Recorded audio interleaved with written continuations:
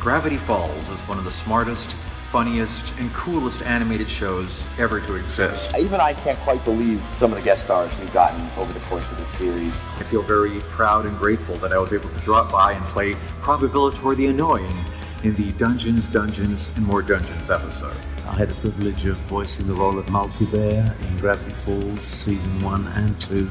He was scary and scared, funny and touching all at the same time, and uh, it was a lot of fun to do. I play uh, Preston Northwest on Gravity Falls. I have a really good time being included in a very talented group. It's been an amazing chance to work with some of my personal heroes. Much love to Alex and the cast and crew of Gravity Falls. Here's to a fantastic finale. And I always have a good time when I go down to Gravity Falls. Hearts in Gravity Falls.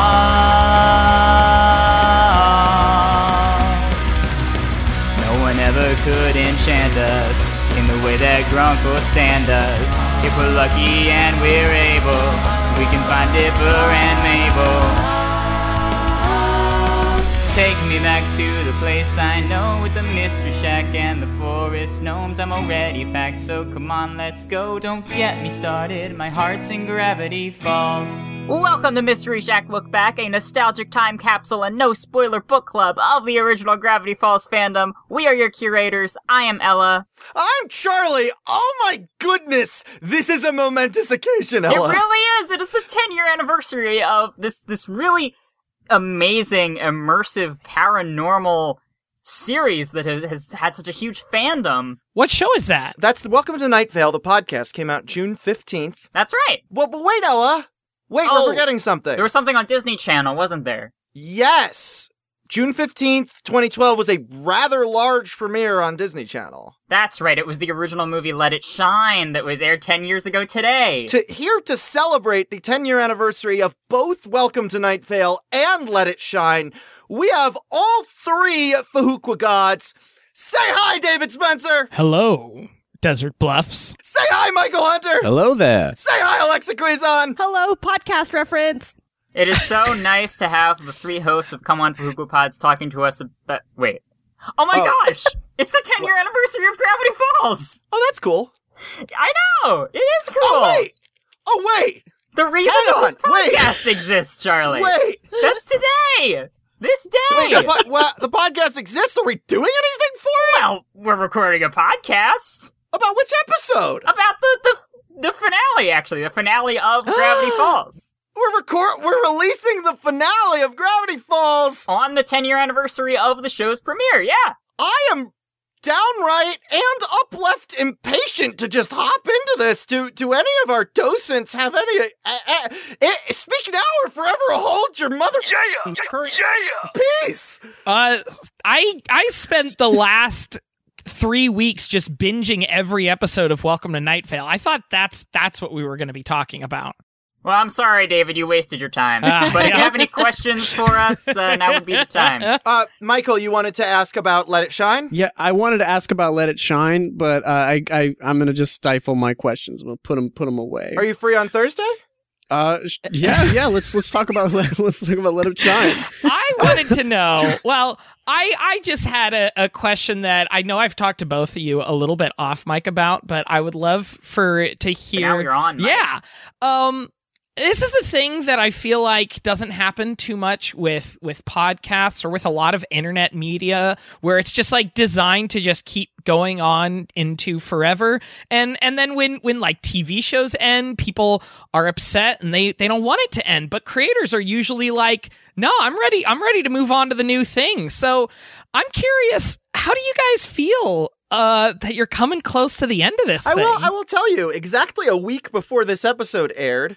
Ella and I released What Probably Happens in Weirdmageddon Part 3, which was the first finale I ever made as a creator. Mm. Wow. And I was like, why did I ever make infinite shows before? This is dope as Yeah, shit. I, Like, I could never, I never, I never have the the fortitude to plan something that does not have an endpoint in mind. I think that's just how I create things. but like, endings are so fun to make because Yeah. I can say things that would have made you laugh 20 episodes ago that might make you cry today. Exactly. And the power I feel as a producer, like we did that with uh, with the day the Big Mouth died. That's a bunch of our inside Mhm, jokes, but mhm. because it is with the lens of nostalgia, it's a little melancholy. Yeah, Mhm. yeah. Absolutely. It's it's super easy to take anything funny and just turn it into sad. It's almost like it's almost like tragedy equals comedy plus, time. Who knew? And you know what? Bojack and Mr. Peanut Butter finally had that crossover crossover episode. It turns out that anything can just become meaningful, even if it's total nonsense, as long as you make it someone's childhood and then wait 30 I years. forget what show it was. It might have been. It might have been. No, I just watched the season three finale of Stranger Things to get caught up, and I'm like, this made me so emotional the first time I watched. You know, them moving away from Hawkins, and now I'm like, I don't have investment in these characters because I skipped to a finale, and none of this is meaningful to me anymore. I, I couldn't tell if Ella was subtweeting uh, Stranger Things or Chip and Dale right there. I, I was subtweeting Rise of Skywalker. Oh, got it. Got it. there's a lot of things that you could be Chewie subtweeting. got his medal. I'm gonna cry for some reason. ah, this is nonsense. hate The Rise of giant ape finally got his stupid gold medal. Real quick before we jump into the episode, uh, we have fan mail. Hey guys, I like your stuff. Thank you, fan mail. You're welcome. Oh, that's that's our good friend Johnny Fanmail here. the character that has been in all 48 episodes of this podcast. Hey Johnny, Johnny, what you bring for us today? hey guys. Aw. That's what the fans have been waiting for. Just yeah. hasn't spoken Johnny until Fan they this were like. Johnny Fan Mail's replying to our emails. Why haven't we heard him on the podcast yet? and we were like, "You're so right." Um, it's because he charges too much. Um, yeah, he's like he's a lot he's he's a lot like this generation's Big Mouth Billy Bass that way. too soon. Oh, Oh. sorry. Too Sorry. soon. I won't say his name in vain. Uh, this one comes to us from Amelia to our email, uh, mysteryshacklookback at gmail.com. And it says, Dear Charley and Ella, I love your podcast. Also, happy 10 year anniversary of Gravity Falls. Also, I can't believe by now Journal 3 would be over 40 years old. Uh, have a good day, and may the memories of Gravity Falls be preserved in peanut brittle. From Amelia, loyal Gravity Falls fan. Yes. That's uh, I I don't usually get references to that episode. Usually it's like reality is an illusion or like Dipper's internet history. Right, right, right. Or or something something like this i or something like this iTunes review from Harbrand 2022 uh who who responded to our in character 5-star review challenge with Gravity Falls, good to be back. And the host and hostess of this podcast, Charley Marlowe and Ella Chesley, are awesome. There are a break fourth wall moments. I have to go. Don't forget to buy some gold. Bye. And that is quite similar to our iTunes review from Spooderman or Spooderman. Yeah. He he does whatever a Spooder. Presumably can do whatever a spooter can. Yeah. We assume that Spooderman is a man uh, who has the abilities Of of a a Spooder. Yeah. And Spooderman says, Wow, I've been alive for millennia, and this podcast is amazing! While I find my next pawn, I listen to these meatbags talk about the enemy while I make my deer teeth throne. Well, ukulele and pirate hat! Expect a visit from me soon. Ooh, I, I like that we've been assigned our own symbol. Those are really accurate. Yeah. When I first read this review, I, I beamed when I saw those, Yeah. and I was like, that would be our symbol. Yeah. Um, the one other thing I wanted to establish before uh, we get to the Gravity Falls season two finale and series finale is that before this aired, uh, not not too long before this aired, there was a special that aired on Disney XD called Between the Pines, and this was really cool because it was just a half hour of Alex Hirsch and the Time Baby just talking about uh, Gravity Falls like fun facts and lore. And, Oh, that's secrets. amazing. Um, and and it's it. The reason I don't feel like we need to dedicate that much time to it is because it's a lot of stuff that we have already covered, and Mhm. it's like Yeah, people have asked us like, "Oh, are you going to cover Between the Pines?" And we're like, "Yeah, we could cover uh, behind the scenes information. Oh wait, We do that every episode, and a lot of it is like from between the lines. yeah. relatively relatively surface level, but it is really interesting, and it's a it's on the DVD. I don't think it's on Disney Plus, but it's worth finding. Um, it's a, it's an entertaining little little special, and it's cool that like to me it symbolizes like at the eleventh hour. Disney recognizing the scope the scope of this fandom and being like, oh, they, we need to do like uh, behind the scenes that you know we need to do all this Mhm. stuff. We And need to do our this- own Talking Dead. Yeah, I remember. I remember Mhm. Hot Topic got filled with um with dipper hats in like 2017, 2018. It's like that's good. Yeah. That's close. Yeah, yeah, yeah. But you could have released it somewhere before February 15th, uh, That's right. 2016, which is when Weird Mageddon Part 3, the 20th episode of Gravity Falls Season 2, the 40th episode overall, and the hour long, if you're watching it with commercials, don't worry, Michael, episode of the series. It was directed by Stephen Sandoval. It was written by Shion Takeuchi, Mark Rizzo, Jeff Rowe, Josh Weinstein, and Alex Hirsch. And although the full title is Weirdmageddon 3 Take Back the Falls, uh, the second half of the hour long episode is sometimes broadcast as Weirdmageddon 4 Somewhere in the Woods uh, in re airings or for half hour programming as well as on Disney Plus. That is the title of that second half. But let's watch both of them at the no, not at the same time. At the same One right time. after the other. As if they were one episode, I think you meant. yes, that is exactly what I meant. Let's do it. David, Michael, Alexa, are you ready to have no more Gravity Falls left to view? I don't know. I don't When you know. put it like that. Great, let's go. It all started a lifetime ago. You and me Our parents decided we could use some fresh air. Be amazed! Bloopity bloop, twins. What's up, Hambone? His name is Waddles. Everything I've worked for, it's all for this family. This mystery shack is over forever.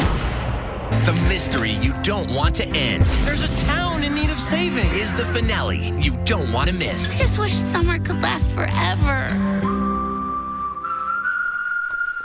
Hello, I am the Dread Pirate Charley. Please join me in a star studded cast for Princess Bride, a table reading of the original screenplay. This Friday at 8.30! p.m. Eastern Standard Time at twitch.tv slash captain underscore Dyablos. That's D Y A B L O S, or just follow the link in the description. So we just watched the final episode of Gravity Falls 10 years after Gravity Falls first aired. Weirdmageddon Part 3. Before we get into the discussion, Alexa, I actually have something to read for you. Okay. This is an excellent text. I'm a big fan. It, it reads Grunkle Stan, uh, I think he's going to do something very noble. Like he's going to be like, ah, and then he's going to sacrifice like his arm or something. I feel there was a loved one. And you know, maybe that person is not in the picture anymore. I thought that Grunkle Stan and his significant other wrote the journal together. that person that uh is no longer in the picture disappeared. I see that that this is this is an interesting hand. One, two, three. From our knowledge, the six-fingered uh being is usually a villain. What if the six-fingered person is the significant other of Grunkle Stan, Alexa Quizon, June 5th, 2021, after viewing only the first episode of Gravity Falls? TV is not a hobby, it is a game, and Alexa, you are the winner! I love about the Alexa theorizing. I mean, I, I love a lot of things about whenever Alexa shows up in anything, of course. Mhm. But uh, number one, I, I sure hope nobody thinks it's faking. It's like just untrue enough that it couldn't possibly f- be faked, and absolutely, absolutely, that is one hundred percent genuine. Yeah. Uh, but I also, I also love that there's a certain view of um, the kind of of people who want to uh, solve a TV show or a movie as opposed to just enjoy it, and it gives me a, a, a real nice sense of like Schadenfreude joy that the person who could really solve these television shows after just the first episode is somebody who is nothing like the uh, Yeah, the kinds of film bros who try to. with- not concerned with solving it. I Yeah. hung out with um, our theme music composer, Brian Bryan, briefly after recording Alexa's episode, and he pointed out that because your name has Alex in it, it's just a, a sort of Mm. Oh, it's just an Alex. all Alexes. Yeah, we're all intertwined. All, No- they all know know. how Gravity so, Falls. Alexa, I also posted those clips of you from that episode to re- advertise that the podcast uh, was was coming out. I have I have neglected to let you know that I have done that. That's okay. Well, because the conceit of the clips is that you predicted all of Gravity Falls correctly, and we couldn't let you know right, that. so you watch that, you would know what you got right. But Alexa, there is a video that is mostly just you that has it's not giving me a view count on YouTube Shorts. A couple thousand views. It's my most successful video of the past uh, year, and it has 30 comments, Oh, including wow. Yellow Pig 10 writes, Yeah, this lady is the ultimate detective. Dipper needs to train under her. He could have figured out every mystery in like two days. Vincent Morris says, Her predictions weren't perfectly on point, yet pretty much everything she said correlates to something in the show. Yeah. Um, Dipper would be like, "What? What, what is the pinata doing? Right? Oh my the, gosh! uh, the, the, the plushie splits commented, This girl just predicted Ford with 79 likes. Um, a singer eight months ago with seven likes says, Okay, but why does she kind of sound like grown up Mabel? um, well, because you are though. So Brilliant. That's just you. Thrick sa- uh, says, What? That's a detective right there. Drift TSH says, Impressive. That one forgettable face says, She got most of that right. Wow, that's weird. Cookie Huezo says, Okay, this right here is a genius. Maria J. Payton says, Wow, this lady is literally a superhuman. Uh, Media Lycan says, Holy schwazmoni, well That's done. not even a word, and I agree with you. Nemethus says, This is insane! Jungo Guy says, Dang, this girl gives Batman and Sherlock Holmes a run for their money. Yes. Golden Nose says, How? Coyotic says, Wow, that's all I have to say, wow. Miss Crystal Hood says, Wrong, so, so, so, so wrong. And GG27 hyphen 99 says, Okay, can you put me in touch with her? I'm really curious about what's happening next in the Cuphead show. uh, that's a good time to announce our Cuphead podcast. Uh, good. where Alexa, who has never seen Cuphead, predicts it and somehow Yeah. gets all of it right. yeah. She, and it's not a viewing podcast. It's just where Alexa sits down and guesses what happens in each episode. I why I don't know why I was tearing up hearing that just because. oh my goodness. I mean, we've all been tearing up at various stages for the past ten minutes. I think that's pretty Yeah. normal. I cried less now than my first time watching it, but my first time watching it, because I couldn't find any friends to hang out with, I actually watched it with some people on live stream, didn't realize it was recording to my hard drive. So I have access to me crying after viewing this Oh, episode for the first time. We'll play that clip now. Also, uh, Blubs and Durland finally admitted they're actually in love. No, with Fu Soos running the shack and um, Stan uh, going on his adventure with uh, Ford and uh, Waddles coming home with Dipper and Mabel.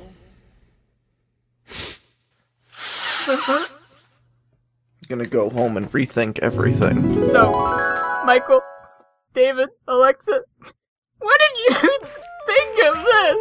I can't just play the music. I can't. Hey, Alexa, what do you think of this? This is how you end a show. Yep. Like this is a a, a really nice, well thought out ending to a show. I've seen there's so many times where I've seen like the series finale of of something, and I, I just felt like okay that that was it, great, okay, Like the And- third Futurama series finale. right, exactly, exactly. The first two finales were great.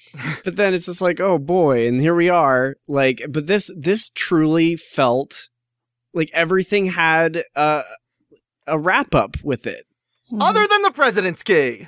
Yeah. Oops. Yeah. He must have dropped it down a storm drain and just been so embarrassed that he never talked about it. I spent this it. whole episode being like, "Bring back the president's key." Um, but yeah, like Charley said at the top, endings are really fun to write, but they're not very easy to write a lot of the time. No, I mean this was definitely an all hands on deck situation with what how many how many writers like are credited? Five writers or something. Yeah. I, it was it was interesting to see how the town kind of got reset back to normal, except for the uh, mystery shack. At the end of yeah, Yeah. when Weirdmageddon was reversed. Yeah, and, and well, I'm- I mean that makes sense because the, The unicorn. unicorn. hair. So when Yeah. when it was it was immune to being weirdified, but that also meant that it was immune, to immune to being, unweirdified. Yeah, Yeah. that's Mhm. correct. Because the damage that was done to it was not technically Weirdmageddon damage, so yeah. hmm And then that restoration took place over a week, along with the restoration of Grunkle Stan's mental faculties. yeah. Yeah. So the Yeah, I kind of would have been interested if they kept him as amnesiac Stan. I knew you. I knew you were going to say that. I knew that was going to be a point for you. But Alexa wouldn't have been, and this show isn't for you, Dave. It's for her. it's for Alex's. This is a I- show people for. with So Alex, Alex in was their like, that would be too depressing, and Alexa, during the watching, yeah. was like, that would be too depressing. So as a David, you're allowed to like this show, but it's it, you know who it's for. It's Yeah, for the Alexes exactly. of the world. It's not for you. Alex A. Yes. Perfect, perfect alternate universe thing. I feel like th- so the theories were abound. I know that several weeks ago at this point we read theories about how like Grunkle Stan is associated with a lot of like fire imagery and a lot of death imagery, so he might sacrifice himself, he might die. And I thought that would have been really interesting and, and, and a good way to for him to go out. And it does sort of. There's his brain goes up in flames On with, fire, with yeah. a representation of him inside of it. The imagery comes back, but as far as like the sacrifice being a death, I thought that would work really well. But the fact that the sacrifice is total amnesia, like forgetting everything about who he was, I'm like, oh, that's worse than death. You can undo that. I- you can, you should I mean- undo that. I mean, I I don't know if I would agree that it's worse than death, and I think that kind of goes into a conversation about like uh the way we treat uh like brain damage and mental health and stuff. oh and, no, like, yeah, I didn't mean for it to come off that Yeah, way. I just meant like but I definitely see what you're. I, I definitely uh, totally, totally see what you're saying with with that as well. And I think Charley's right on the money that it's like. I- If this were a show for me, then he would have been permanently like forgotten everybody, and I'm okay with it not being a show Yeah, for me. so here's what happened. This for 40 episodes, we have been focusing on Dipper's journal while Mabel was working on the scrapbook. The journals Mm-hmm. were not important. The scrapbook Mm. was. For Oh. 40 episodes, we have been hyping up Stan as a screw up and Ford as a genius.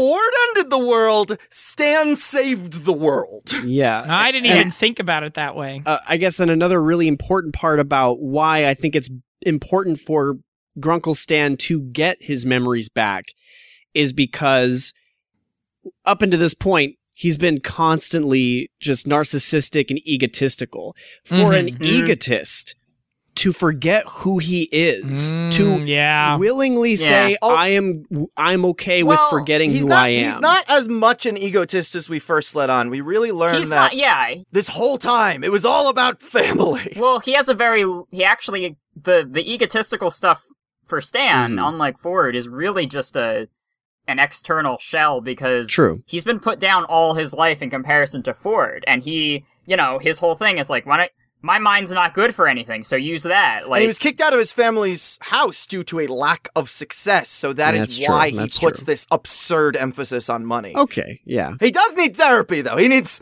so much. All of them. All of them. Yeah. Free therapy Oh. for all. Yes.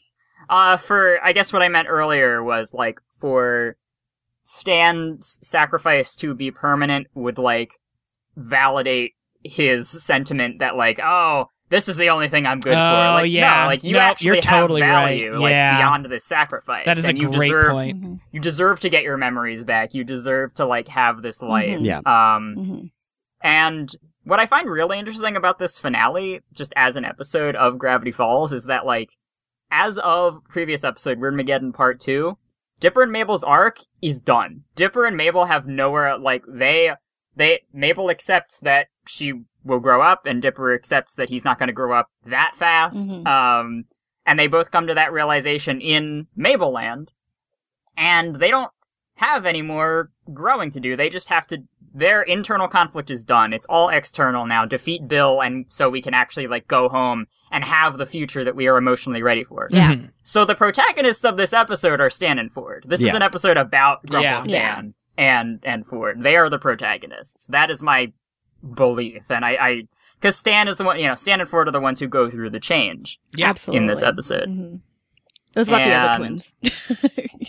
Yeah. Exactly, and that's what I find really interesting is that like Dipper and Mabel's feud started way after Stan and Ford's and resolved before Stan and Ford. Like, you know, Yeah, it yeah. shows how how much healthier their their dynamic is that they were able to start and finish their dispute in way less time Yeah. than Stan and Ford. I think that was Absolutely. important for the audience to see that too, as well as the brother. I don't know if they witness it. and for Stan Yeah. and Ford, yeah, they Mhm. follow their example. And and for or one of them says like, "How do they do it?" Well, they're kids; they don't know any better. Like, Oh, that was such a good line because I definitely there was that feeling of I think it was Alex who said there was a total Star Lord moment where Yes. there's it's it's like that feeling of like oh this character's doing something stupid to the degree that it feels almost unrealistic, but for some reason that one line made it be like oh no the the fact that they let the world end because of this dumb conflict actually makes sense uh for some reason just Absolutely. that lens of like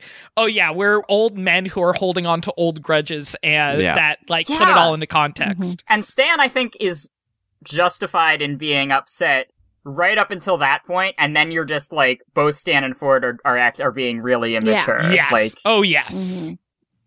But you get it, and that's I. It's that kind of conflict that I love, where like you get mm-hmm why each person is in the right, and also being really, really immature. Right. If Pacifica can hold a hillbilly's hand, you know, then you Yeah. you both And can work the this out. you know? And you know that that reference also makes me think about how like, you know, yeah, it makes sense for somebody to be like the the gung ho hero of everything when they're young and then they get old and bitter and cut themselves off from the Jedi way and oh wait, sorry. I just just had to get in one more last Jedi reference. yeah, It's, yeah. it's it's completely relevant. Yeah, and you know because because Last Jedi was the last Star Yeah, Wars film. Uh-huh, that they ever uh-huh. made. Ever. They didn't do anything else Yeah, it's a shame. that. I know, and I honestly think you know, you know, bringing back the prequels and the original trilogy into it in such an interesting way really was a great finale. Yeah, exactly. Yeah. yeah. She, she truly was the last Jedi. Yeah. So that she truly was. that line, that moment uh, that you're talking about, where they have their uh, the Zodiac circle, Yeah. Mhm. which is the the secret weakness to defeat Bill, and it's a human energy circuit, so everyone has to hold hands, and Stan is the outlier, and Stan has to hold Ford's hand, and uh, he says, Between me and him, I'm not always the bad twin. and Ford says, Between him and me. Grammar, Stanley. Yeah, so we'll play the clip from the commentary. Well, uh, sta stand here, Stan Pines. Um, the original line was I said, between you and me, I'm not always the bad twin. And then Ford said, between you and I. And then Rob Renzetti here said, that's wrong grammar. Yeah, we had to reverse it. Oh, really? yeah, between you and I is incorrect. Well, there's a real. That's right. f- The real life Ford is Rob. That's right. So I insisted that, and it stayed wrong for a long time through the No, production process. keep process. it wrong. And I was like, So this is just live footage of me this and Rob fighting over. Yeah. I am actually not great at grammar, and Rob was like, and I was like, but it sounds wrong. The right one doesn't sound right for some reason. That's great. Yeah, I definitely was surprised that they would do the circle and then it wouldn't work. Yeah. Uh, I love. I, I think I even said this the last episode we recorded that I love it when it's like, okay, we're doing all the things that is supposed to work, and now something goes wrong, and now what do we do? now what? Yeah. And wouldn't you know it, in what probably happens in Gravity Falls, I put in the joke that they do the circle, and then Bill says, Oh, I just thought it looked cool. It doesn't do anything. yeah. what actually had happened was they uh, were a couple episodes in, storyboard wise, when they started working on the theme song. Back in season one. So they just grabbed random assets from the storyboards, put them in a circle Oh, with the six fingered hand from the journal right in the center. And at the 11th hour, Alex realized that a six fingered hand is the centerpiece of the fringe opening and was like, okay, we not- need to change that. Uh, Eye of Providence. Okay, cool.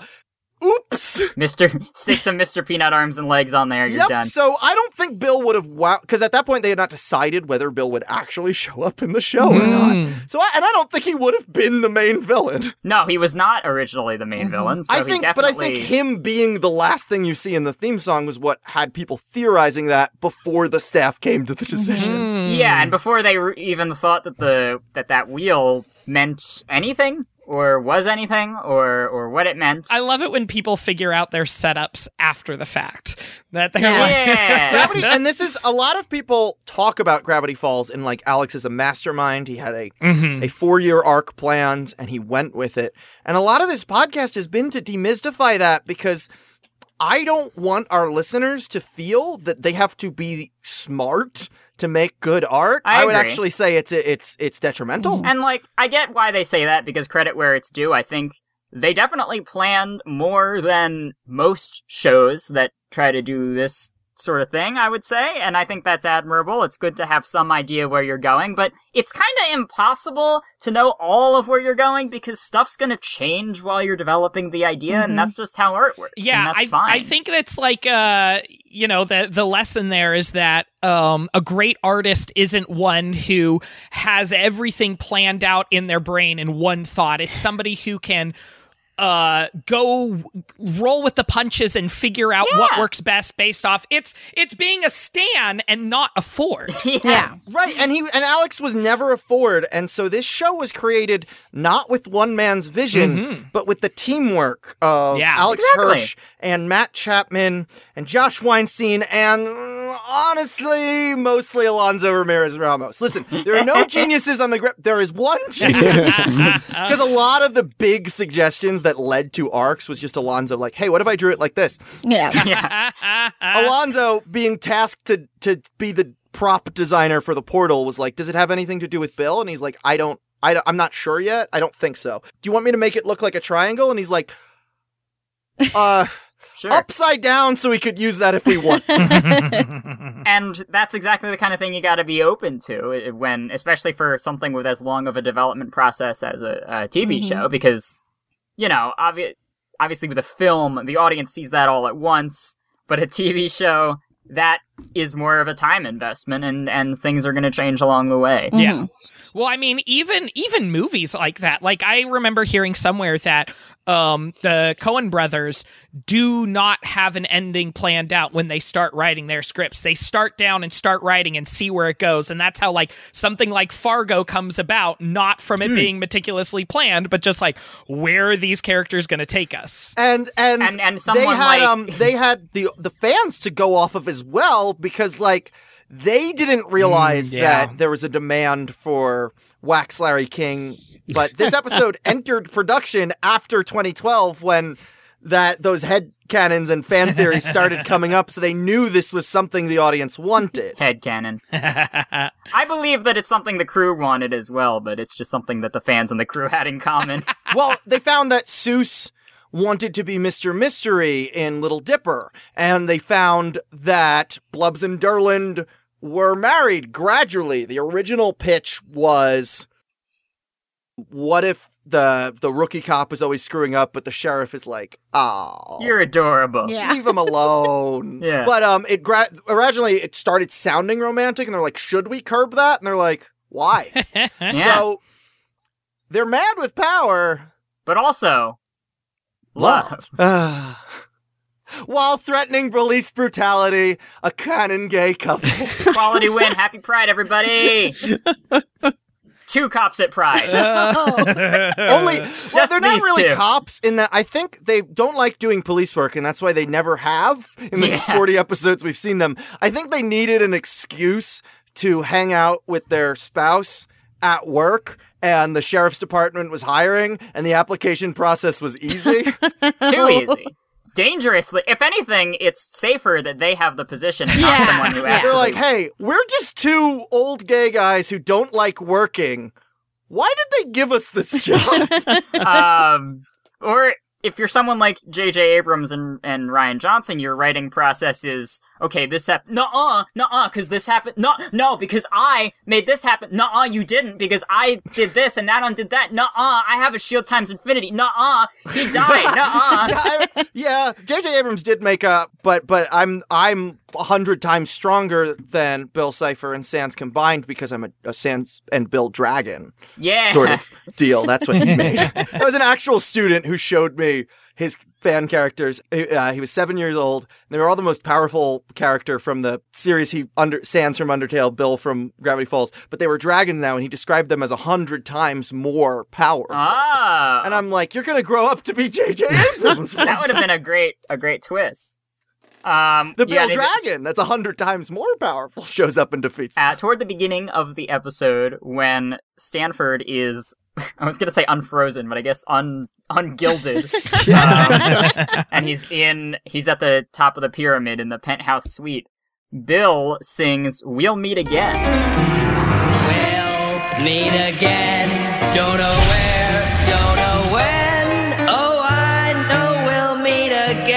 some sunny day. which is a 1939 song by English singer Vera Lynn, uh, written by English songwriters Ross Parker and Hughie Charles.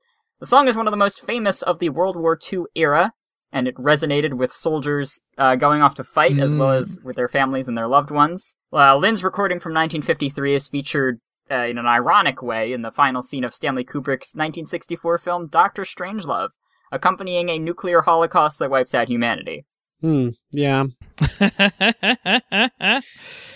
Perfect. Alex chose to include the song partially because of that association with endings and uh, apocalypses and that sort of thing. And I always read it like through my own interpretation as like Bill having this like pseudo foresight for how this is all going to wrap up, and Bill like maybe he doesn't know how things are going to end, but in his like I know lots of things foresight, he sees that this is all going to come to a head soon. So he's like gloating to Ford, like, well, Bill comes out like, and now the end is near.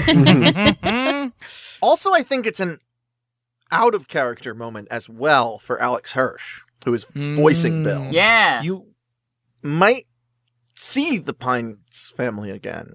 I don't know if I don't know if in a choose your own adventure book or maybe an official version of Journal 3, I don't know, a graphic novel. it's an acknowledgement to the audience that this is the finale, but Yeah. you might like Yeah. yeah.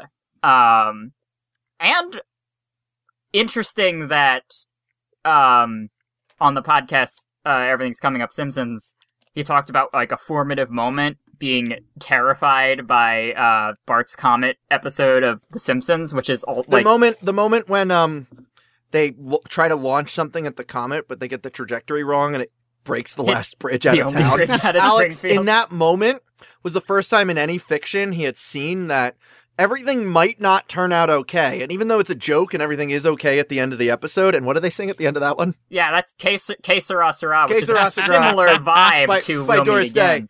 Yeah. But yeah, in that it hadn't even occurred to him that a solution to a problem might go away. yeah, And, and death became very apparent to young Alex. So for him to a sing, which is something that historically he hasn't done on this show, Yeah, did, and, and didn't we just say that they they had to cut the whole Bill song because it was it- mostly for actually- time, but it Mm. was That's also the second because to last episode. Part of the reason they cut it was that Alex couldn't sing in the voice, but they also cut a McGucket song about the Gobblewonker from the second episode because he couldn't Oh. sing in the McGucket voice.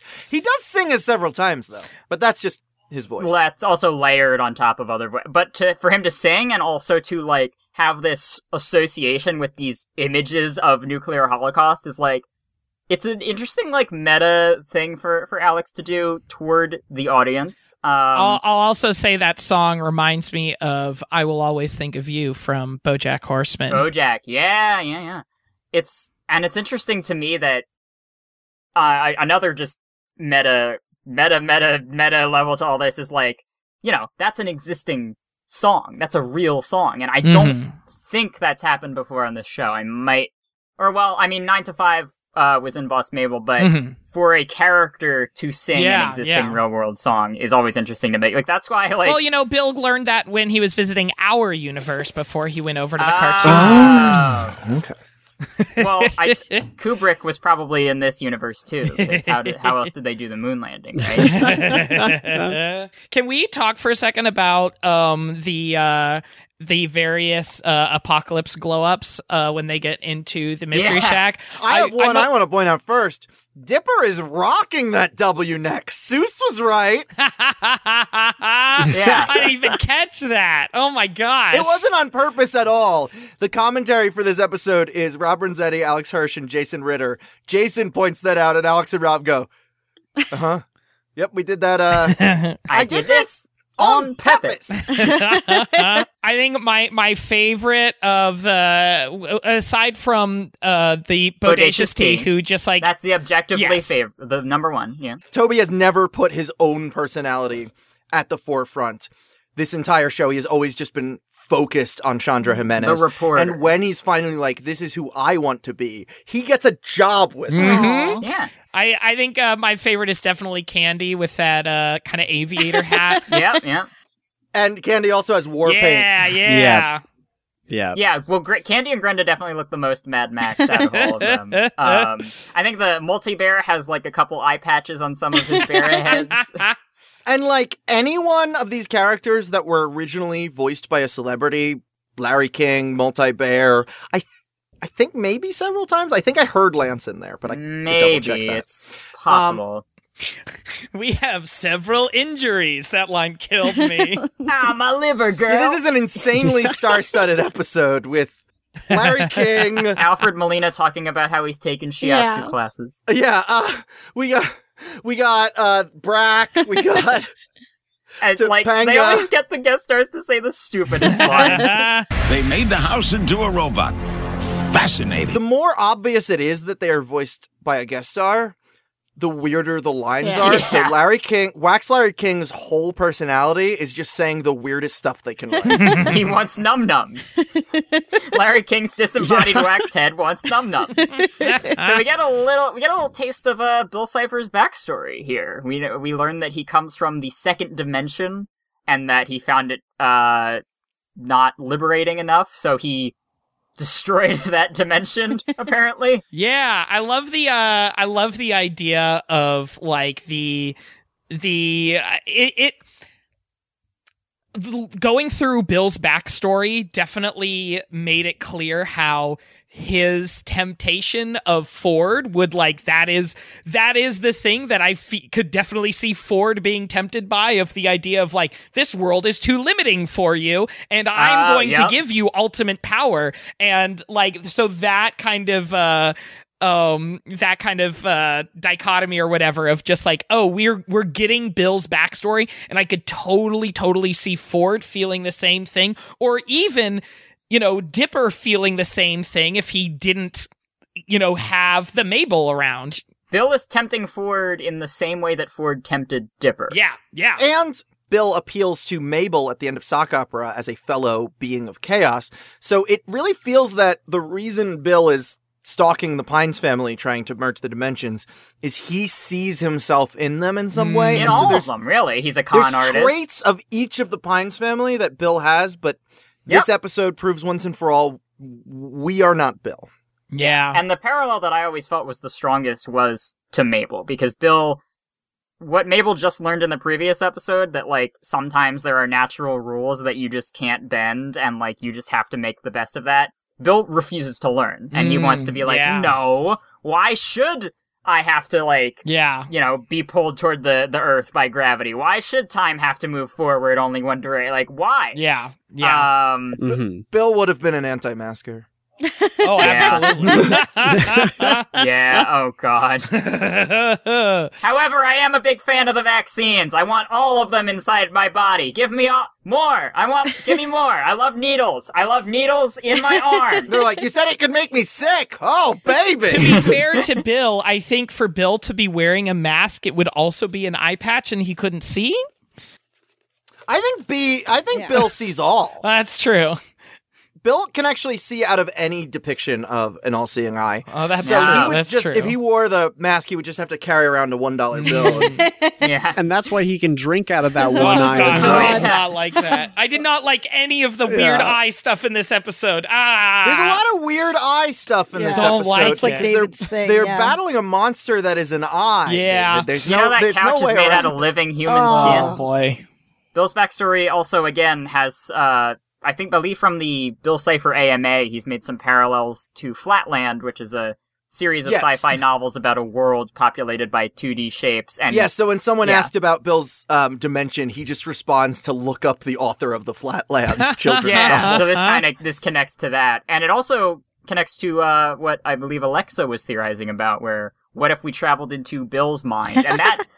Even though that didn't happen, I love that idea, and like I am, that made me so excited to think about. Like, what if you turn the tables on him, and now that he is exists in the physical realm, you can go into his mind because he has that Mhm. now because he is physical. Yeah, if somebody did the sacrifice play, they could have, you know, possibly have maybe have as a spirit be able to Absolutely. do yeah, that. And yeah, yeah. that was my favorite part about doing this podcast because I am overly familiar with this show. This show has been my primary source of income since 2015 when I got enough views on what probably happened in Gravity Falls to start monetizing my YouTube.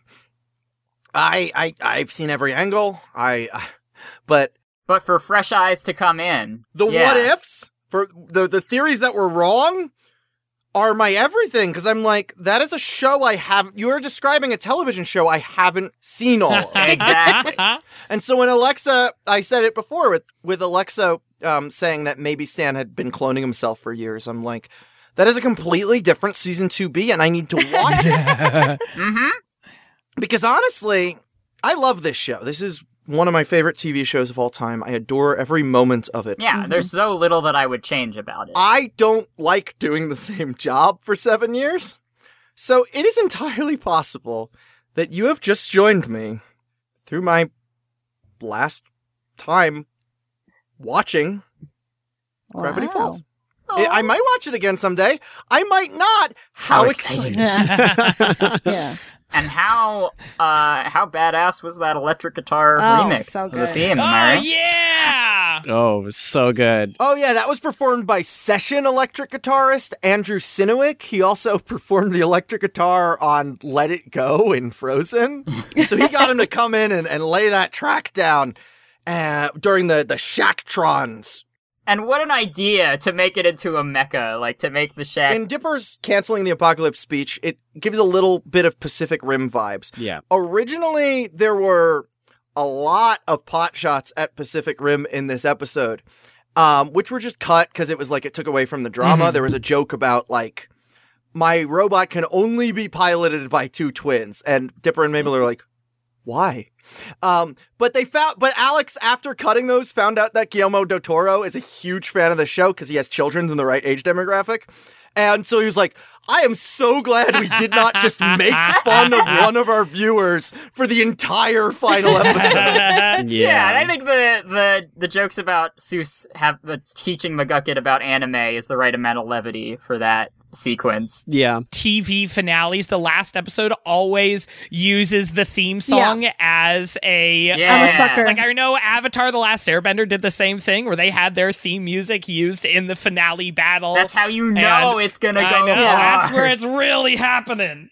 and they um the Shacktron itself is basically just built from callbacks. You've got the mystery shack protected by the the unicorn hair spell thing. You've got I believe there's parts of the Gideon robot in there. There is a uh Gravity Falls billboard. The portal has been built into the crotch of the robot, um, which is a lovely image. And the Gobblewonker's attached, the robot Gobblewonker and partly encased in tree sap is the T Rex from Land Before Swine that they have as an arm. That whole mech, but really this whole episode really made me think is there any previous episode of Gravity Falls that is not specifically called out in this episode? Because it feels like they were trying Yeah, to put in at least everything. one thing from everything. I think they did. I think they did, honestly. Which- I Bottomless really pit? thought about it. Um, good question. I'm sh- there might be like Well, a. Prop- what about Mermando? We didn't. Did we see anything with Mermando? Oh, Mermando? yes, because the tree at the end had Mabel's uh, hearts with all her precious. So I Oh. believe he's What on about the the pinata? What about the pinata? Alexa, there's this great website. They call it Archive of Our Own. Yes. And so if there is something that didn't happen in a series that you Yeah. watched and you feel that you need to vindicate that, you actually can write this little thing called a fan fiction. Oh, I'm aware. I want Yes. to. I want to read Alexa's Gravity Falls fan fiction. We're all looking forward to the. We've been impatient for the pinata fix since June fifth, Alexa. Like, come Just on. please a year also ago. include the president's key because I really need Uh, that to come back. That's going to be the title of the episode, the pinata and the president's key, because they both begin with the letter P. And it's going to be about the two of them going on a homeward bound Yeah. journey to get back into the to show. try to make it Oh. in time for the finale, and they just miss it. I was going to say, I already know what the climax for that is. Like, uh, you know, I think the pinata and the president's key have a conversation, and I think uh, the pinata says, I don't think we have to be there for everything. Aw. I don't think everything has to show up. And then the president's key was like, but I've been, I've been training for this moment. And the pinata was like, listen, I've been made for a long time and nobody has taken a bat to me. Like, and at some point, I'm just going to have to accept that I'm just going to live with candy, you know? And, And then she moves in with Mhm. Candy and her parents. Exactly. Uh, Now I have candy on the outside as well exactly. as the so I think it's going to be a journey of, you know, Uh, because nobody ever talks about the callbacks that never made it, right? So I think that's going to be a good little Oh, story. I wish. I wish they never talked about the. That'd be great. Now Alex Hirsch would get some great night's sleep if no one ever talked about the callbacks that Yeah. never made it. like the baby. If no one ever talked about the baby, No one ever talked about that baby. No one had any questions about the baby. Who is Dipper and Mabel's grandpa? Don't worry Is about it that baby? Who is Shermie? Don't, worry, about, about it. Yeah. the imagery of like a, a giant robot with a T Rex for a fist punching a monster with electric guitar in the background just gave like epic mealtime bacon 2007 Yup. vibes to me, and I love it. Like it's great, it's great. Don't get me wrong, but it is like. This is so epic mustache bacon. Yup. Oh my god. this episode is complete excess. Alex said Yeah. they tried to write their weirdest jokes, their strongest action. They everything everyone liked about the series, they tried to do it more. Times here. 10. Yeah. It's a hundred times more powerful than most Gravity Falls episodes. Well, it's because it's a dragon.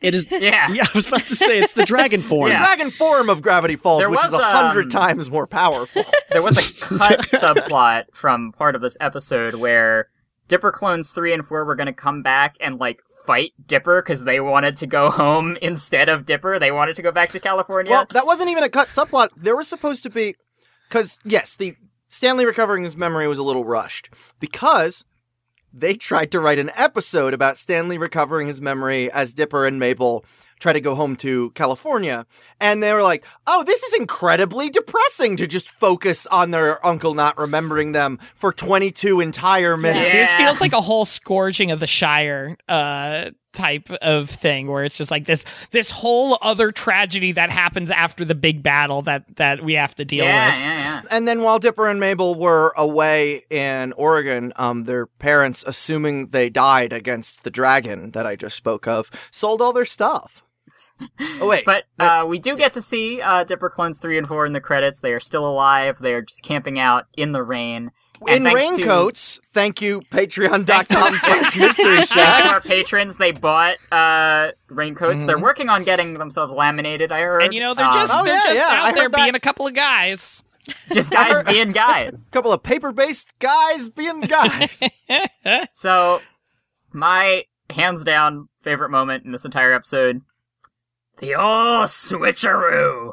How did we feel about that? Oh yeah. well, I I personally prefer the new switcheroo, but that's not Stan and Ford's. That's flavor. not what they They're- did, though. They did the old They're, one. they're they're old. They're that it's theirs. Look, it's old. It's classic. it's classic. Michael, were you going to say something Stan- about that? Stanley, what what about the uh why don't we try the new switcheroo instead? Hey, Ah, hey, these if it kids works, wouldn't know. If it ain't broke, These kids wouldn't know a good switcheroo if it bit them in the butt. the switcheroos back in my day, the old switcheroos. All right, what you got, Michael? Well, yeah, no, I I love that. Um, at first, I thought that they weren't going to do it because like, I was like, okay, well, it seems like they're setting it up.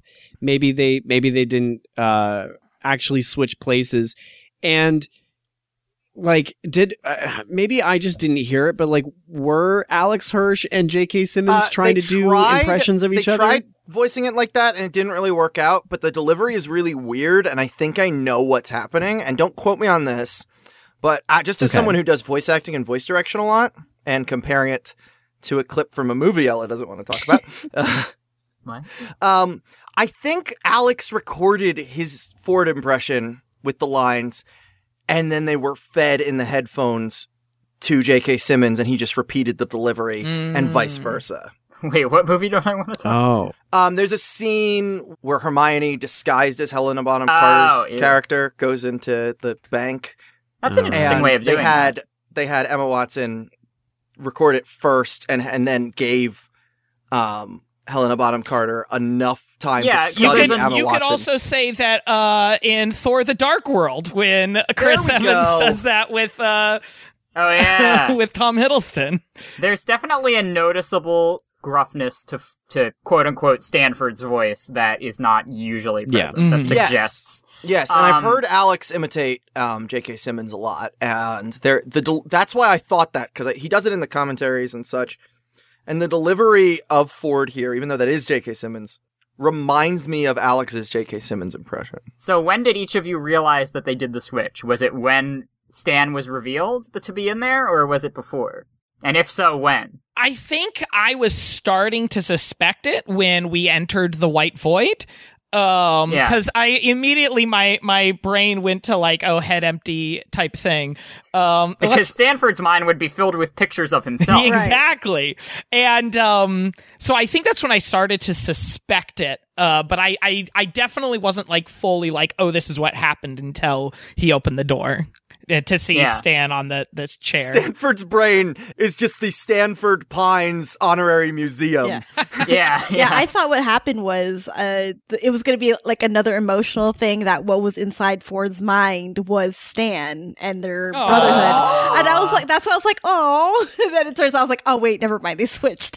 yeah, you're in my mind. Yeah. I started to be suspicious when they both were talking in the cage and we weren't zooming in on them. Right. And there's a very like, don't do it, Ford. Yeah. He'll d- he'll destroy you. Like And um, the way their stubble is different. One is a gradient and one isn't. Yeah. Mhm, Um, mhm. and they reverse that on the character designs for that scene. And uh, the chin clef, Yes. butt chin butt chin. that, Yep. that Ford has is transferred onto what we think is Stanley. Mhm. And Stanley, um, so Ford when he, he makes the uh, zodiac circle, puts on gloves, and that becomes critical because uh, they are six fingered gloves. Stanley has to convince Bill, and the Bill can see into people's minds. He just got so excited at the idea of getting into Stanford's mind. He's incredibly cocky at this stage. He he literally could have been like, "Wait, that's Stanley," but he got so ahead of himself. He was so convinced he won. It was like Yeah. how the Nazis fell for every decoy we sent them, all of them, one hundred percent. It was really easy to trick them into thinking they won. But the now gloveless Stanford disguised as Stanley still has six fingers, obviously, Mhm. but Stanley disguising himself as Ford is able to do it because of the gloves. He just like now, what is is Ford doing anything to hide his hands in that scene? Not particularly, but Can you? Does he have again, six fingers in that scene? He does. He is drawn with six fingers. Wait, Stanley's design is drawn with six fingers in that scene? Yep, he is drawn with six fingers and the chin Holy clef. shit! I never noticed Yep. that. Granted, you probably don't see a close up until after the reveal because he has to pull out the memory gun, and that's probably when you see his hands most clearly. But it's a great scene, and it's a great, like, payoff just to the whole theme of twins, right? Because I feel like that's such an easy, like, there's like a jokes on Rugrats about, like, oh yeah, me and Lil switch places all the time. Nobody notices. We just switch the bow. Mm-hmm. So it's just such a good, like, Yeah. Ugh, I love it. And I love that it's the one member of the Pines family who has never directly interacted with Bill is the one to take him down because mm. he is the one person who's like a better con artist than Bill Exactly. Well, yeah, that's exactly it. Is and Ford points it out is Stan is immune to Bill. Literally, Yeah. the reason Stan and Bill have not interacted is because that wouldn't work. Because Stan can see through every lie. He is mm. a better con Exactly. artist. So it had to be Stan versus Bill because no one else could defeat Bill. Exactly. And Stanley Stanley Pine saved the world by doing the same thing he's been doing for the last 30 years, pretending to be Stanford Pines. That is what he is best Oh, at wow. That's wow. Wow. I bet he had to do the voice when he when he visited Dipper and Mabel's parents, and wear Yeah, wear gloves with a. Probably. Uh, hello, it, it's me, Stanford Pines, your your um uncle. Yeah. Yeah. I'm Yep. very smart. I have 12 PhDs. Did I mention that? Science. Well, that sounds like Stanford to me. I have one in I don't know smarty pants stuff, and one in I don't know numbers. So as Bill is being erased by the memory gun, which, okay, my whole rant from the last Mabelcorn episode, the idea that you can erase Bill from someone's mind with the memory eraser, that was to set up this. But the fact that, like, you know, Ford says when they're talking in the cage, Bill's only weak in the mind space. If I didn't have this darn plate in my head, we could just erase him with the memory gun when he steps inside my mind. That's all they needed to put in last Mabelcorn. Well, also last Mabelcorn was written in three days, so he's like, and Weirdmageddon Part Three was already probably already being written, so he could be like, ah, we could put in foreshadowing. Awesome. That's true. yeah, you're right. Yeah. Before uh, Bill is punched out of existence by Stan, uh, actually, that whole sequence where Bill is is making all these wild transformations, uh, and then Stanley finally punches him. Uh, that was all animated in house by Dana Terrace. That was another sequence that they really wanted to get right, uh, and they did. Similar to Ford stepping out of the portal, it was like, if we want a shot that is so important to the plot of the show that we want it done exactly, we cannot send it overseas. Mm-hmm. And Dana had already offered to do additional animation if they needed. So Yeah. Yeah. But as Bill is getting erased, unfortunately, the only way to do that is to erase the entire mind. Mhm. So you just erase the person's identity and it erases their mind. Because normally that machine just picks out specific memories. And so some people were like, why didn't you just type in Bill Cipher? But that would only erase memories of Bill Cipher. I don't think that would actually Yeah. destroy him. Yeah, it needed to erase his entire mind while Bill was in it. So he couldn't leave, basically. So I, I kind of have a, a gripe with that. There's kind of like a similar story arc that Doctor Who did. That's not usually a good sign. Go on. So uh, it wasn't that they trapped like a person inside a uh, a a person's mind. A certain character was given too much too much knowledge. Like a human being was given way too much knowledge, and Yeah. they basically became uh, unstable. And if they remember, like if they if they start to remember any of these things, like they will destroy the universe. Essentially, they'll Mm. destroy themselves as well like as the, the, crystal universe. skull. Ca- yeah, exactly Sure. like the Crystal Skull. Sure. Michael remembers plot points of that film. So, Yeah. yes. Interdimensional being. Right. But the point is that uh the the catch is we're going to erase this person's memory. But if they ever remember me, like the doctor, Yeah. they will die and the world will die. Mm-hmm. So if they if they're at a at the doctor's office, like okay, the doctor will see you now. The doctor. yeah, the- I mean, and they play into that. Like, uh, they there are moments that like at, in se- later seasons where they're like, I'm starting to remember, and they're like, Oh no, no, no, no, no, and like Quick, quick, you know, whack him over the head again. pretty much, pretty much, just like, uh, Uh, I, I really hate the episodes where they whack her over the head. It's Yeah. just uncomfortable to watch. She's a middle aged woman. So I, I guess my my thought process here is okay. Well, if Grunkle Stan was able to get his memories back, doesn't that mean that technically, like Bill might still survive in there? You're skirting on halls of conspiracies territory. oh, so- sorry. You're right. You're to right. me, right. Bill is external. Bill did Bill was not created in Stan's mind, so he can't Okay. be recreated by Stan's mind. That's how I justify it. Sure, that makes sense. When Weirdmageddon is restored and the world is brought to normal, the physical presence of Bill, the pyramid, is turned into just what it would have been without his magic stone. Yeah, which I love. I love the idea that we didn't see him like he doesn't turn into stone when he enters someone's mind previously because he never had a physical form. But his physical form mm. was stone. We see the bricks on the pyramid rotate. So that's essentially his corpse that's just like left behind. Gave me some spirited away energy there. It was pretty great. Yeah, yeah. when he turns into stone, a bird lands on his hand.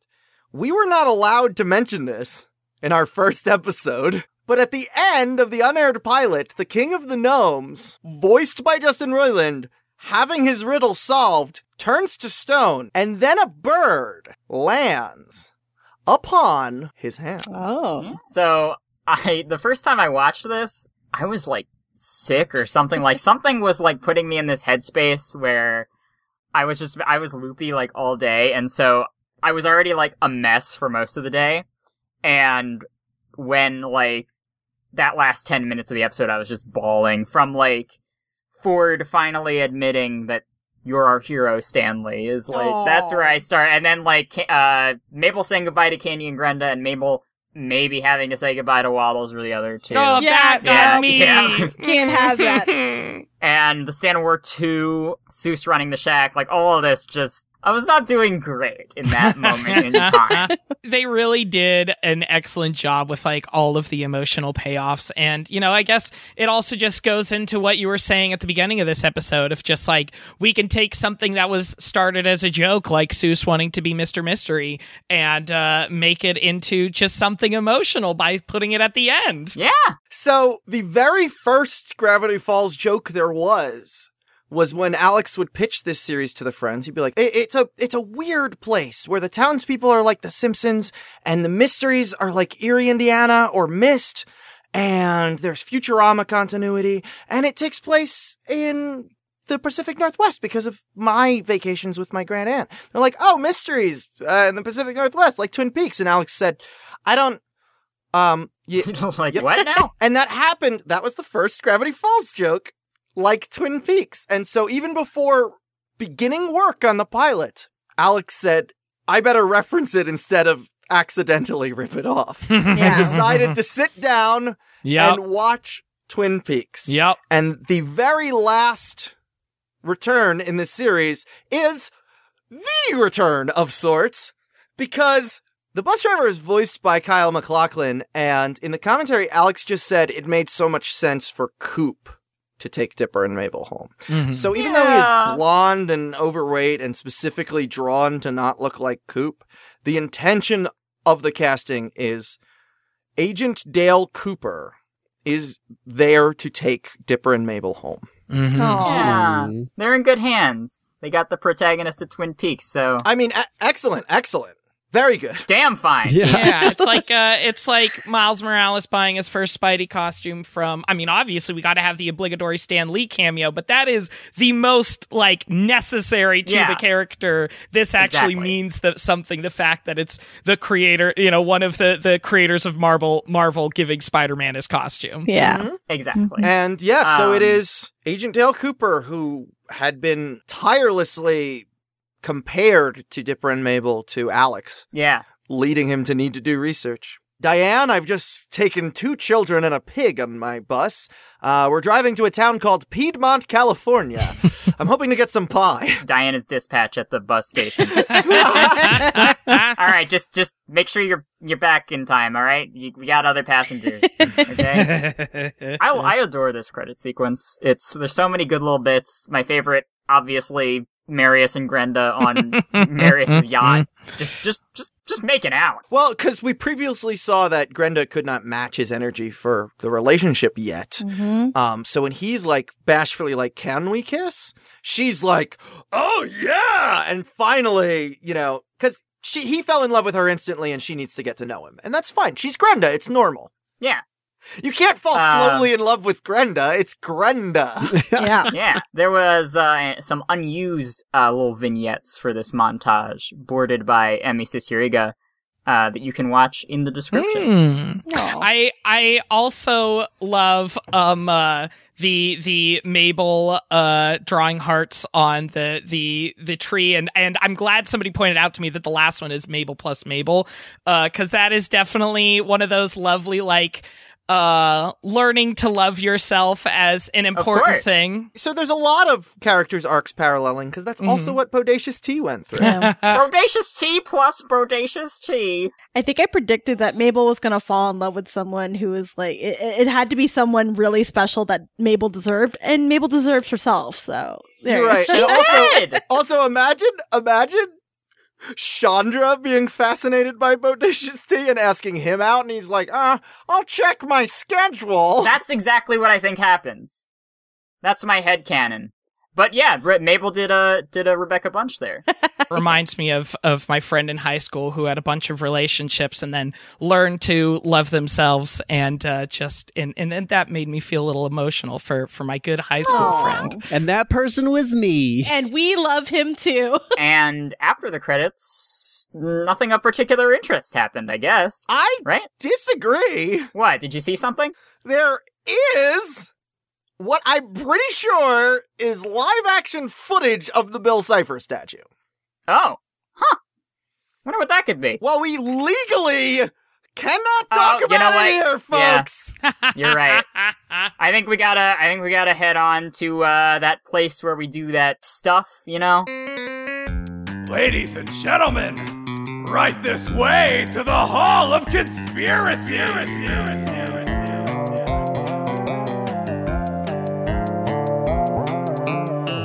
I'm kind of surprised that we're we're still coming here. I, I didn't know that there would still be new exhibits in this hall to see. Well, after it got unweird Mageddonified, uh, we actually got some new exhibits in the aftermath of As that. well as because this is the end of the television program Gravity Falls, that means no fan theories will ever be confirmed or debunked, which means Mm. the Hall of Conspiracies is eternal. And do you really think mm. you're gonna stop these nerds from making theories No. even That's when they know true. there's no No, more show? true. I tried. Believe me, this was my job for seven years. I tried. I mean, there's definitely, and I'm sure we're going to get to it in one of these conspiracies, but probably the biggest mystery for me that remains unanswered is what is special about Gravity Falls that it's a weirdness magnet and Bill cannot leave. Yeah. I love that a lot of those questions are intentionally not answered because it yeah allows this fandom speculation to continue. So in a lot of ways it's intentional that Yeah. that they wanted to keep the Hall of Conspiracies and open. and also it's if if they leave loose ends, if they ever did want to do Mm-hmm. also true. an Also official true. version of Journal Three, something silly Yeah. like that. Who who would do that? Rob Renzetti would do that. Yeah. Yeah, he would. but will he? We'll see. So we have the entire cipher wheel. What we now know is uh, referred to by Bill as the Zodiac, which Yeah. is, is interesting. Oh, I was also wanting to ask, like, I mean, th- th- this maybe it's not a conversation with the Hall of Conspiracies, but just calling it a zodiac really just made me think if the fandom has like established in the similar idea that like Western astrology zodiac has people's signs associated with, you know, what Oh, what do day you of wanna- the oh, we year. got it. I, I'm gonna guess your your signs then. Okay, Michael's a question mark. Oh yeah. Mm-hmm. Alexa's a shooting star. Yeah, absolutely. Mm-hmm. Yeah. For sure. David's a bit of a pine tree at times. Absolutely. He's wearing a pine tree. And the cap. Ella I'm a tent of telepathy star. and I'm both a uh, a Pac-Man and a six-fingered hand. yeah, a, a six-fingered hand with a Pac-Man tattooed on it. Yeah. If only there was some kind of uh I don't know, some pirate from New Jersey who wants to punch the Kraken, who also is overeducated and knows too much about too many things. You know, someone who's kicked out of their family's house but also is destined for greatness and has to deal with ego. I don't know anybody like that. The cipher wheel being officially referred to as the Zodiac did allow me to make a video in which I sentence mixed Bill saying, Didn't you brainiacs know the Zodiac killed this Ted Cruz? because that's back when Ted Cruz was funny and you know, I, I go as far as to say Ted Cruz will always be funny because hating him is a great way to bring people together. That's true. So let's read off these symbols. Dipper is the pine tree. Mabel is the shooting star. Soos is the question mark. Gideon is the little old tent of telepathy star. An excuse to stand next to Mabel. oh, I won't. I will. Ford is the six-fingered hand. Pacifica is the llama. Boo! Should have been waxed Larry King's head. Boo! He could have held, he could have had them like stick their hands in his mouth to Listen, hold it. I think his this is one of the only near perfect series I've ever seen. I say near because the Because lava Wax should have been King. Wax Larry King's head. Come on! Actually, no. Now that I now that I've experienced this with Alexa, it should have been the pinata. Mm. You're right. You're right. Robbie is the stitched heart, his destiny hoodie. Wendy is the ice bag, cool under pressure. McGucket is the glasses because he's scholarly. And he wears glasses. And he wears glasses. Look, Dipper. Look, Dipper. See, McGucket wears glasses, so he's the glasses. but uh, they don't really, they don't really look at all like McGucket's. They look more like Blubs' glass. No, no, no, no. Don't.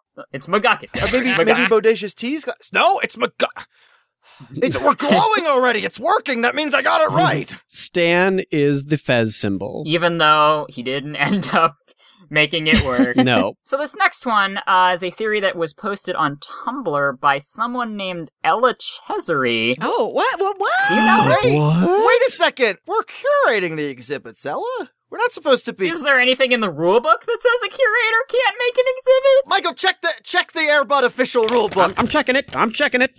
Uh, I'm pretty sure that it's museum law that all exhibits must be stolen, not uh, you know, not created. Oh, so it belongs in a museum.